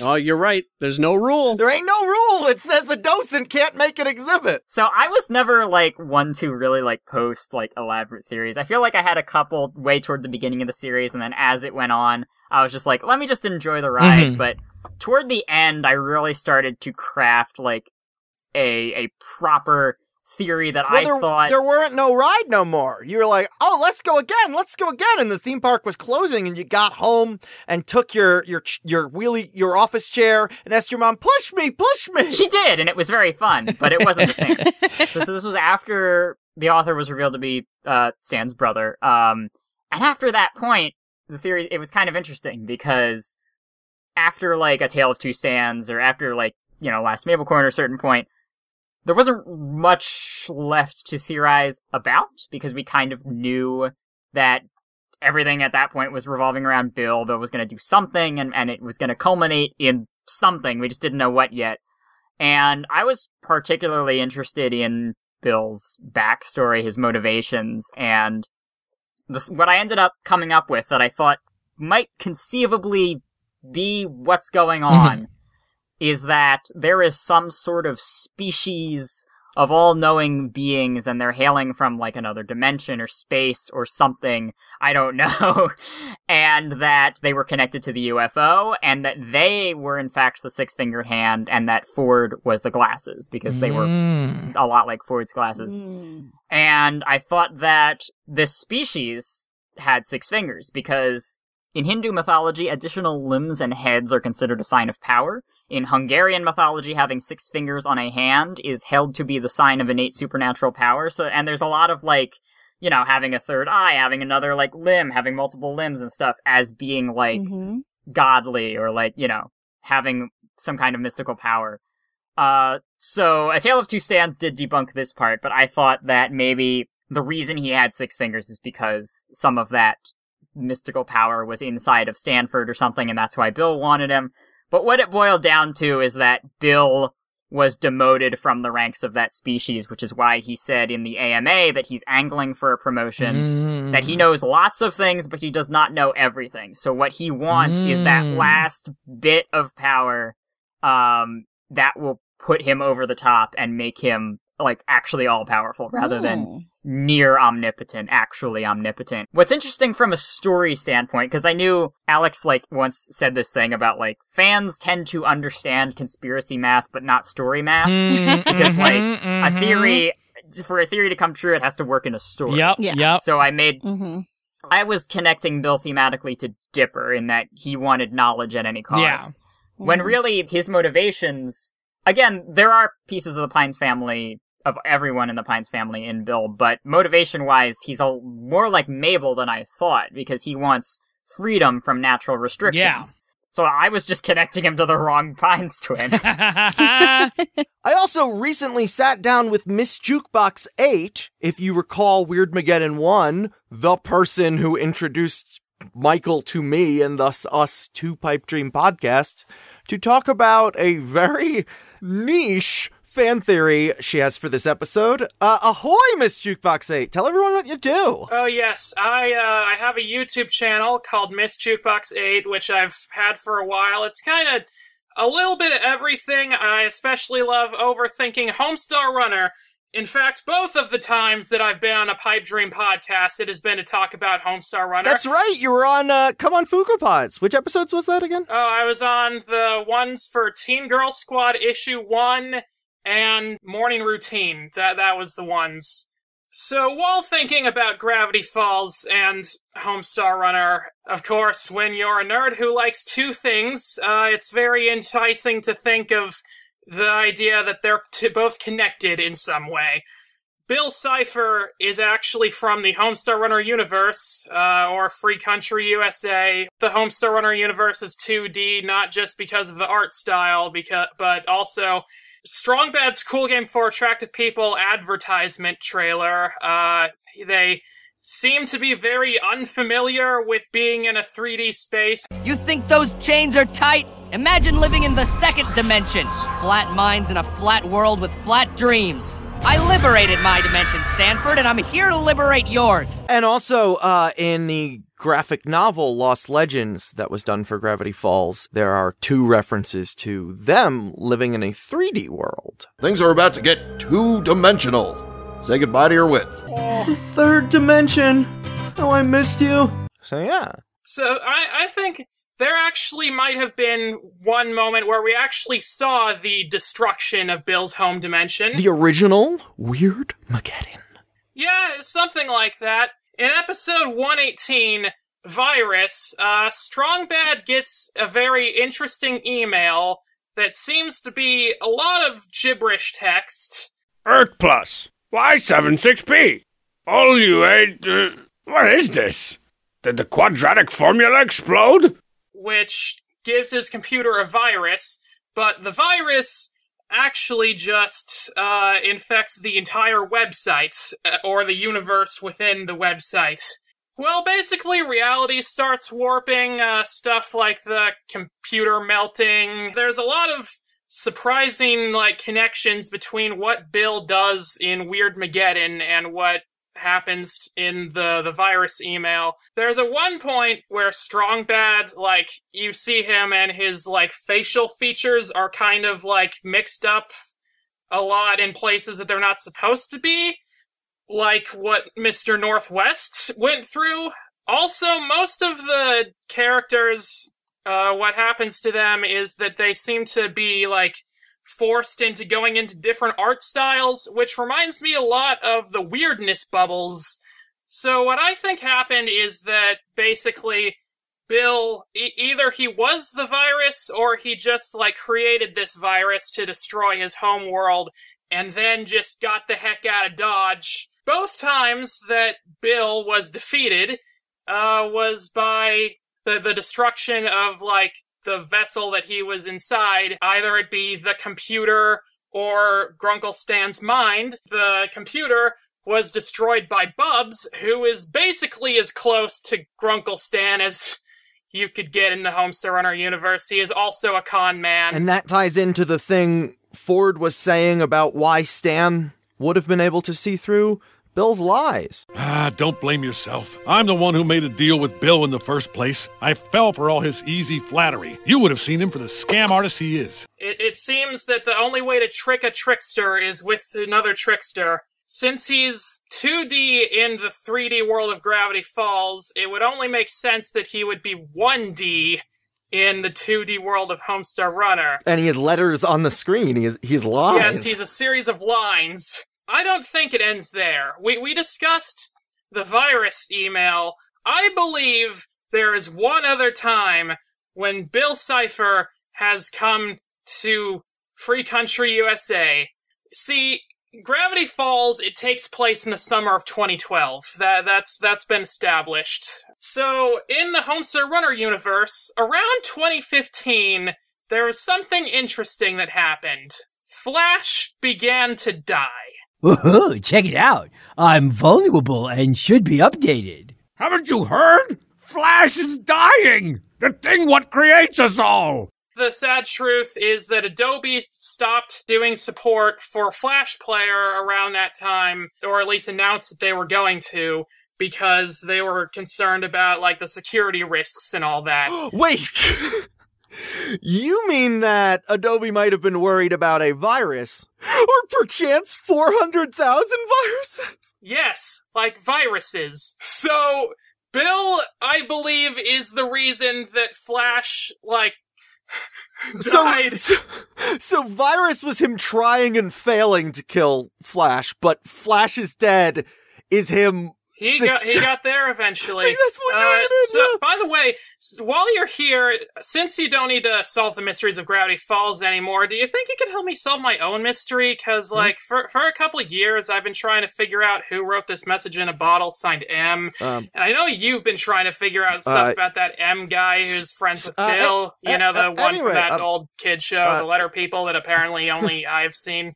I Uh, thought maybe there might be a connection there, and um, so that's about all the time we have for you today. know, Mystery Uh, Shack Lookback starts with an M. Uh, so and that's so does Marlowe. uh, about all the time we have for today. Thank you so much for joining hey, hey, us. come back here! I will not be silenced. Ninja Raptor 4444, who um is my arch nemesis. The the ninja versus pirate feud did not die down with the Naruto and One Piece fandom. says anyone else reckon the statue of Bill at the end could have been left at the mystery spot at the Oregon Vortex when Alex and the crew did this, and then they link to the Gravity Falls wiki for Mystery Tour 2013, which was the road trip that um, Roadside Attraction was based on. While they were there, they left bill drawings at every location for fans to find. If they had left anything else uh, during that time, well, they didn't post about it. Yeah, maybe it's a maybe it's a real life secret for people to find. That would be that'd be wild. So Michael's fan theory came up a lot. We don't have a direct source of it, but there were a lot that was like, if erasing Stan's memory killed Bill and his memory is back, is Bill back? And then the other one being the Bill statue is forever posed with his hand out for a handshake. I was in an incredibly popular fan animation um, about Mabel wondering if she should try to shake its hand and seeing what will happen called Mm. Gravity Falls one year later. Me and Shelby voiced it. Um, Yeah. By Alina923 on YouTube. So when Bill is dying, he shouts,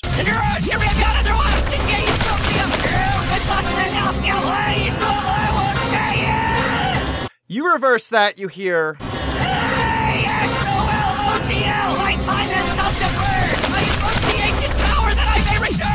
A X O L O T L. He spells the word axolotl. So at the time of this episode, it was understood that that was how axolotl was pronounced, and so that is in all Gravity Falls fan theories, and and that is how this will be pronounced, and that's how we're going to pronounce it. Because I can't find the correct pronunciation fast enough. But uh, yes, that is a that is an Aztec word meaning uh, water dog in the Aztec language. Which it I is. Look at that thing.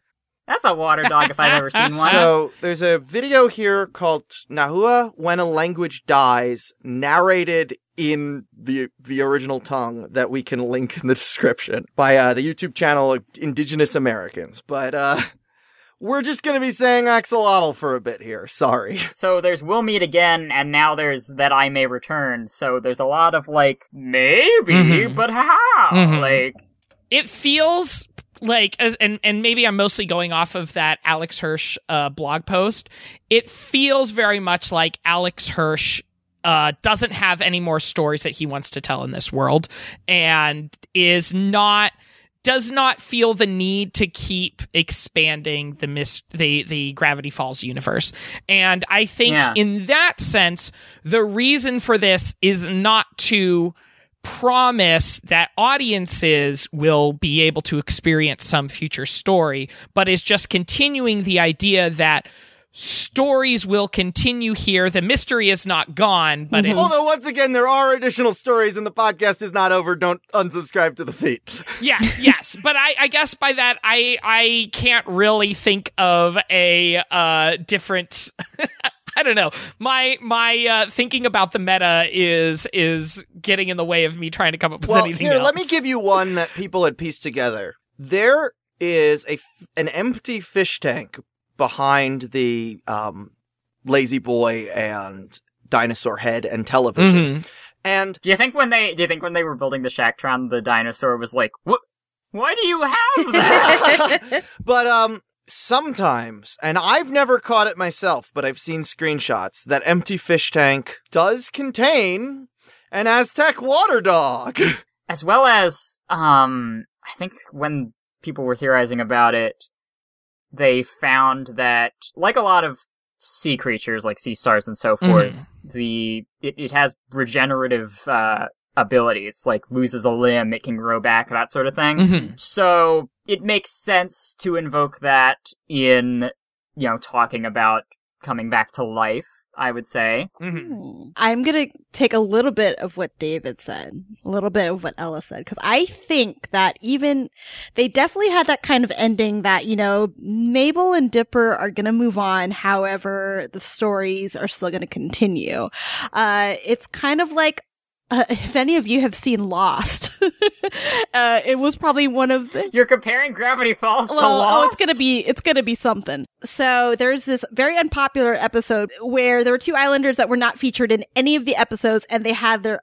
And then suddenly in the season, they were just given lines like, "Hey, put that down," you know, like just random stuff, and like, who are you? Are th- they're extras that are talking now? I'm Islander extra number one, you know me. Right. And then they had a whole episode dedicated to them on Oh. what was happening during uh the big adventures. Like they would have their own mini adventure. So that's what I think is going to happen. You think the axolotl had its own mini adventures? Or the pinata. Like, hey, Absolutely. Hey, oh, oh, The the, pinata. pinata. Hey, where's the pinata? Doobie doobie doo, ma doo, me doo, me doo, ma doo. Michael, I don't think Soos's management style will be one to one the same as the original Mr. Mystery. I don't think it'll be anything like it. He has too much heart. I feel mm. like to to scam Scam people. people, uh, as as uh, intensely as Grunkle Stan. That's A- true. and that's why his cashier, instead of being a teenager hmm who needs a job, is um, his girlfriend. Yeah. yeah. well, and I also feel like you know she they'll they'll be able to. uh you know, I feel like I could also see Soos kind of becoming a little power hungry within that, and then she keeps him grounded. You know, yeah. Soos and Melody also have the same favorite place of business, Hoo Ha the Owls Pizza Time Jamboree. So maybe oh, they'll oh, there's gonna be oh, there's some gonna be that. some animatronics Oh, up in I already this. know. like a, a stanimatronic. Old Goldie is long gone. He's moved to the Arctic Ocean with his husband. I also have a feeling Yeah. like Soos will have like a an attraction where you get to whack the pinata. Like he'll have a little bat. So instead of a whack a mole, Well, now it's time to ask the question that has baffled mankind and Soos-kind for generations. What's the attraction? as well as his speech uh, in support of keeping the Mystery Shack open kind of reveals, like, what he sees about the Mystery Shack. Like, Yeah. he sees it as encouraging people to, like, believe that these things are possible rather than just tricking them. It's Mhm. more like, wouldn't that be cool? Dude, wouldn't it be cool if there was, like, a, like a mermaid with, like, a, fr- with a skeleton head on it? And for Stan, it's um, if the electric bill stops being paid in this house, I am never getting this portal running, so I need to find a way to make money. right? Yeah, Exactly, yeah. The lack of desperation will make the Mystery Shack a very different place. Yeah. So I feel I feel like that we would first things first. I feel like uh, integration of kids is going to be essential. I feel like that. Well, yeah, because they were he was leading them on a tour to show them the statue of the founder. Yeah. And so like I feel like there's going to be more. I, I, maybe they'll utilize the um, you know the the adventures and just kind of like the skills that he learned by babysitting and also accompanying uh, Dipper and Mabel and into into Yeah. those. Yeah, maybe he'll do like a story time where he tells the the adventures of, of Dipper and Mabel to all the children that visit the mystery shack Ooh, while their that'd around parents the, look the around. campfire. absolutely. Yeah. Or the adventures of of Stan and Ford. Because he writes fanfics about Stan. Yeah, yeah, Yeah. that too. Who are now punching krakens in the Arctic Ocean. So Stan and Ford are freaking pirates now. On the Stan o' War too! Well, they're gonna go on an adventure with Mermando, who has moved to the Gulf of Mexico Mm. uh, to stop a war with the Manatee people. Maybe they're going to get uh, mixed up in that war somehow. I'm not entirely sure. Yeah, maybe the marriage fell through. I don't know, or maybe maybe the manatee got kidnapped and and they have to save the princess. And um, well, that Kraken. Yeah. I bet I bet we're not seeing all of that Kraken. I bet I bet she's actually quite nice if you get to know her. Yeah. Got a real southern hospitality to her. After being stabbed in I'm the sure. eye, right? Exactly. Dipper and Mabel are planning to. They, it says at the bottom of the note, "See you next summer." Mhm. So a lot of the fan speculation on what happens next, because. And I've tried making content about Blubs and Durland and about triggering powers, and no, it's not what it's about, and I didn't understand that. It should be though. Dipper and Ma- people want to know what is going to happen to the people they fell in love with first.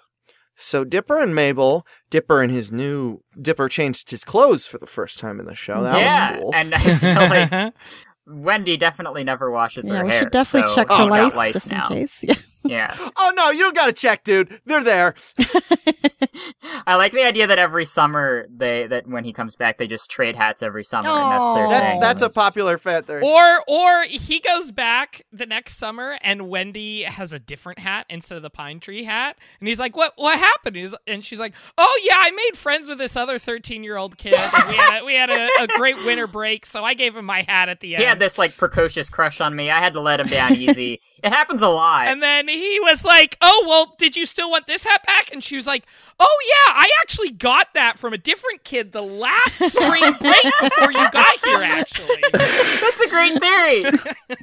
That's hilarious. Yeah, I mean, there was a whole school year in between. Wendy would have met some new freshmen. Uh-huh, uh-huh. Absolutely. And I Yeah. just just the the chain of hats continues. Oh. So we've had backwards messages that teach us how to decode additional mysteries. And we've had ones that just make fun of the audience. But in a lot of ways, there are no additional mysteries. So at the beginning, you hear at the end of the theme song, but played backwards, that is.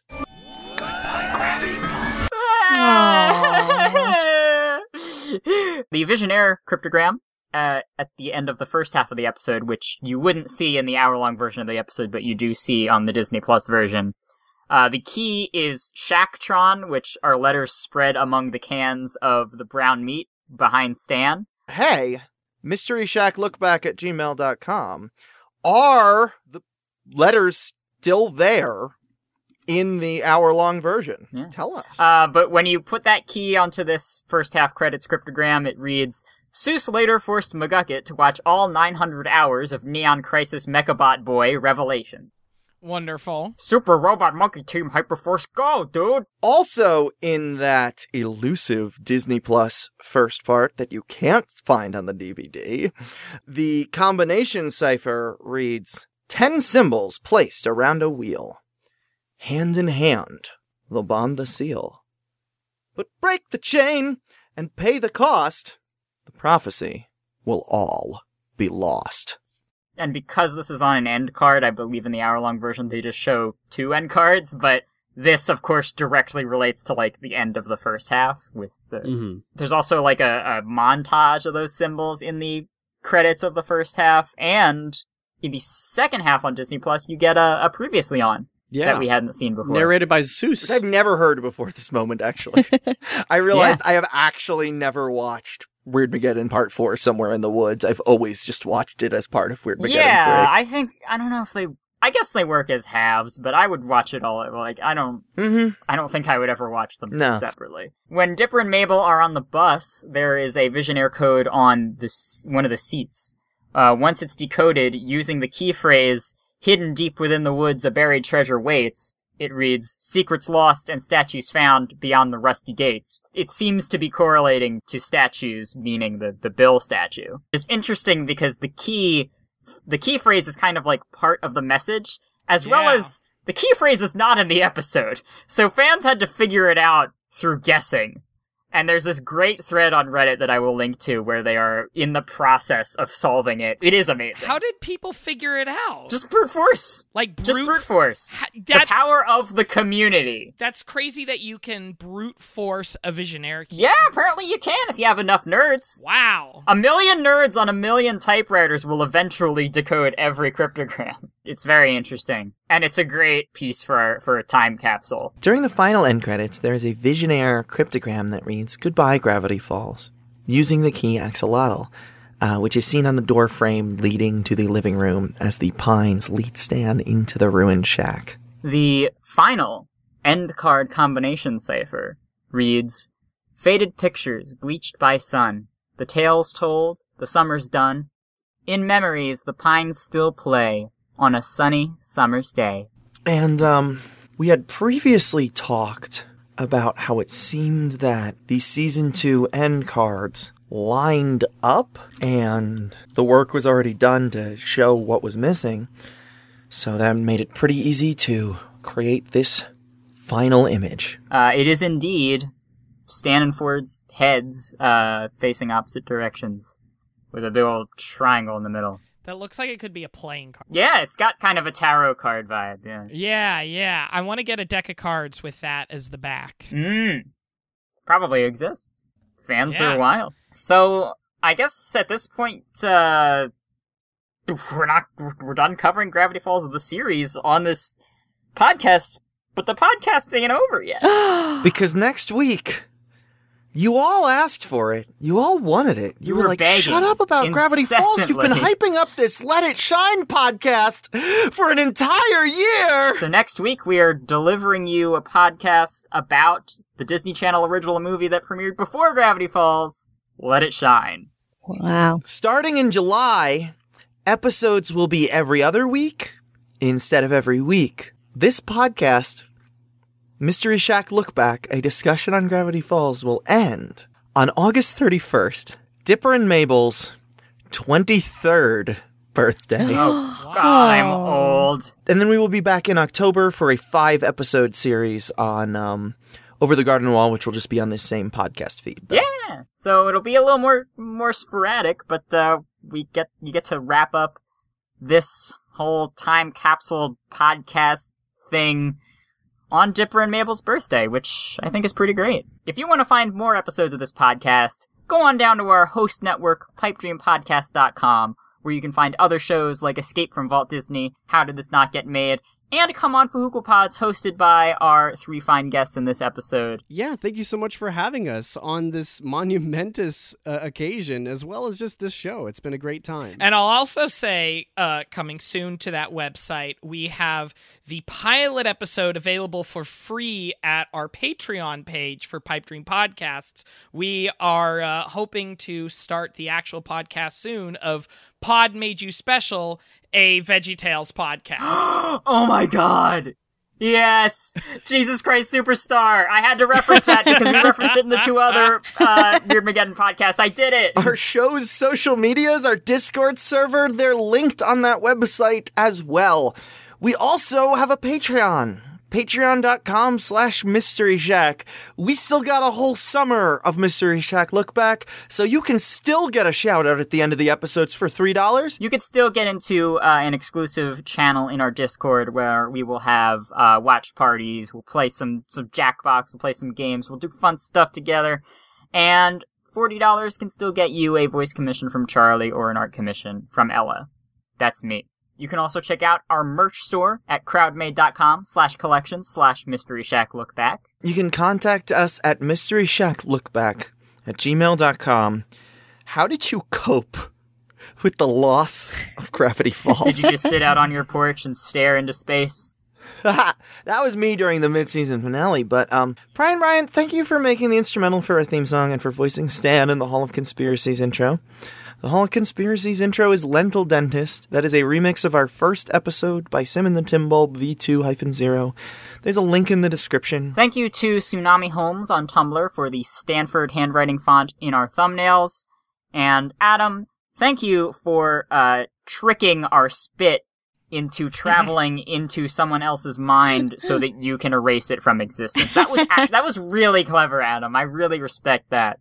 Uh, also, please check out the Gravity Falls 10 Years Later zine project uh, that was put together by our wonderful docent, Abby Kirby, uh, and includes uh, work by one of our other wonderful docents, Mary McKeon, host of Into the Falls, uh, another Gravity Falls podcast that is also wonderful.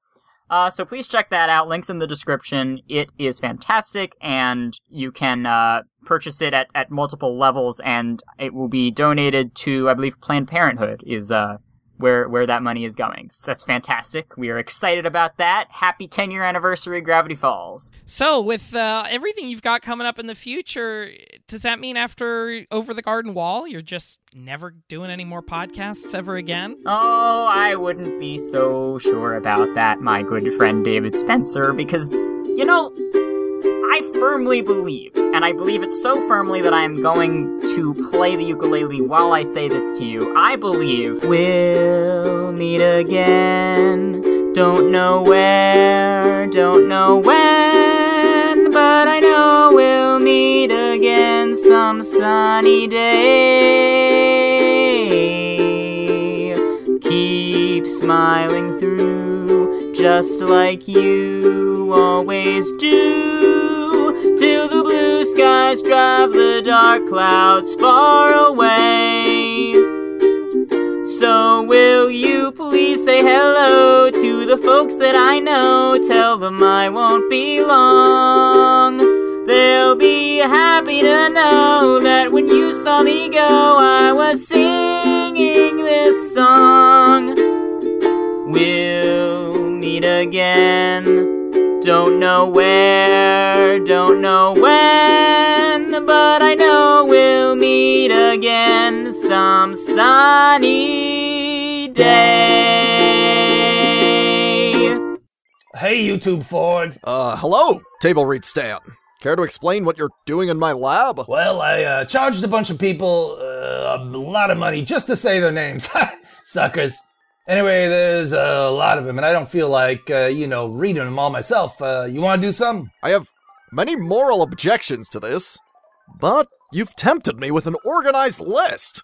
Thank you too, Daddy Driftwood. And Daddy Buttons. Friendly local geek. Fun boringness. Hugh Salinas. Juno series, I guess it's pronounced. Liz Clark. Uh, David, oh boy, okay, G- uh, Guns, Guns, Gansel, Gansel, Gunsel? You got it, yes, Gansel. Aren't you Mr. Fancy? I was voted Mr. Fancy five years running. Uh, don't remind me, I remember. Richard Scanland. Jamie Belts. I want to belt a couple of shots of whiskey after this list. Uh, go ahead. Ryan Faber. Uh, S- Stephen Patrick Mulholland. Oh, Mulholland Drive. Very interesting. Very interesting. All right. It's a good film. Gwen Prime. Junior Bruh. Joseph Jones. Olive Pluto. O- Olive Ver. There's an R there, Stan. Oh, Oliver Pluto. I'm sorry, I was distracted by the, the the the object that's no longer a planet at the end. Kuiper object, that's the term. Whatever for.